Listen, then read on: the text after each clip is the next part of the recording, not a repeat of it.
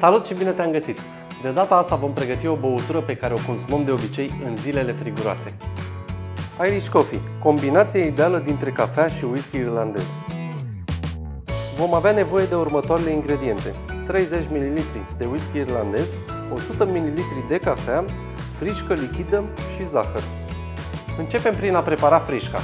Punem frișcă lichidă într-un shaker și o agităm ușor, fără a se întări prea tare. Avem nevoie de ea să fie semi-lichidă. Dacă nu avem un shaker, putem bate frișca în modul tradițional cu un tel. Acum voi prepara cafeaua.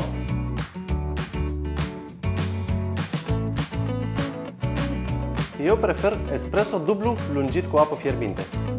Punem zahărul și whisky-ul în paharul special de Irish Coffee. Paharul trebuie să fie din material rezistent termic și să aibă toartă. Turnăm cafeaua fierbinte peste whisky și zahăr. Apoi turnăm rapid frișca peste cafeaua fierbinte. Frișca are rol de capac ce va păstra toate aromele la interior. Niciodată, dar niciodată nu vom consuma această băutură cu un pai de plastic. Aceasta a fost rețeta mea de Irish Coffee. Dacă ai întrebări sau alte rețete pe care doresc să le prepar, lasă-mi comentariile tale mai jos. Îți urez o zi minunată! Până data viitoare, nu uita să te abonezi, să dai like paginii de Facebook sau să mai cotropui printre celelalte rețete.